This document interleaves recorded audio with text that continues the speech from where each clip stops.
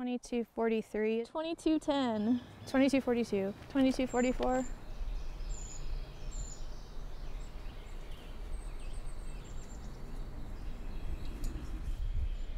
It's been a while. About 160, tiny bit, go up just tiny bit. And no going. About 36 and a half, 180. 296 minus about 50, 38.1. What's the reading? 38. 160. Go in a little bit. Stop there. 37. Starting to go cross-eyed. Okay, the weight with bag is 216. Our average um, body mass for these guys, when I take all the data over the years, um, is about 116 grams. So the main things we're looking at are the hind foot length. On a northern flying squirrel is going to be 33 millimeters or larger, and their, the color of their belly hair is different than on a southern flying squirrel. And you know, it's a rare species. It's nocturnal. It nests in cavities. So you'll notice the gray on his face. That's typical on northern flying squirrels. Southerns usually don't have that much gray on the face.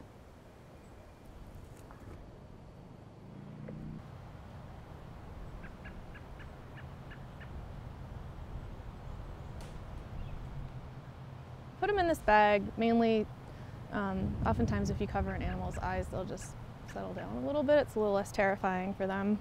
So we're, we're trying to just be extra cautious and, and minimize um, uh, the, the stress on the animal. So I'm going to contain it mostly with fabric.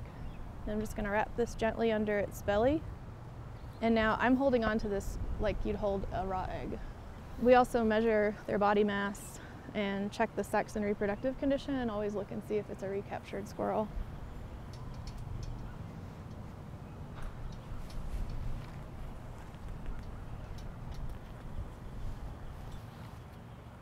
So basically, they're, you know, we call them nest boxes, but they're really, they're not necessarily breeding in these. They're using them as a den site. Well, oftentimes we'll see movement. Like he looked in there and just saw the squirrel. Um, sometimes you just have to tap on the box and you'll see the birch bark kind of all shift. and you know someone's in there, but um, it's, it's pretty surprising how well they can hunker down and just not come out. Even when we don't catch the animals, we do have some evidence as to whether or not northern flying squirrels are around. But they're very, very difficult to catch, and nest boxes are one of the better ways we have to catch them. The alternative is live trapping, and that's very time consuming and very risky to them. So with a lot of wildlife surveys, especially for rare species or species of concern, it's a good idea to use multiple survey techniques because not any one survey technique is going to do the job. We started doing um, acoustic surveys with like bat detectors back in late 2009 and I started putting those up in the fir forest and it's like, oh, they're up here. definitely up here. Getting a lot of squirrel calls recorded. So one of the things about flying squirrels that's kind of neat is they have this flattened tail. Um, the main feature, of course, that makes them a flying squirrel is the patagium, which is a flap of skin between their wrist and their ankle. And they can actually flex some, contract some small muscles in the wrist and ankle to change direction. This is no ordinary squirrel. But they'll um, start out on one trajectory and like turn 90 degrees. And they don't have powered flight.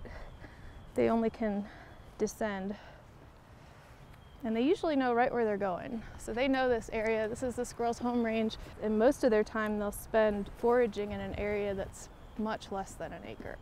Their favorite food is truffles, which is the fruiting body of mycorrhizal fungi. And mycorrhizal fungi are fungus that grows as like a mesh network around the root systems of trees. And they help the trees catch water and nutrients in the soil. And in return, the fungus gets sugar from the tree. Now they emit a pretty strong odor. So these guys will actually smell a fresh bloom, we call it, of truffles. You know, we have a lot of evidence over the years working with this species that they're they're doing well where they are, but they lost a heck of a lot of habitat. There was that big logging boom back in the late 1880s till about 1930s. So their their habitat has mostly been shrunken down because of that. It used to be all over the southeast back in the Pleistocene era.